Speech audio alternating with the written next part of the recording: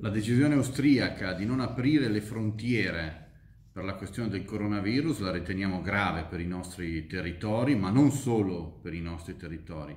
È un, problema grave per l'intero sistema, non solo per la parte turistica che ci colpirà pesantemente, ma per la parte economica di tutto il paese. Quindi crediamo che il governo italiano debba intervenire subito nei confronti del governo austriaco e nei confronti dell'Europa, perché l'Europa non può trattare il nostro paese in questo modo, non può trattare la nostra regione, la nostra provincia autonoma in questo modo. Chiediamo una forte presa di posizione da parte del governo nazionale.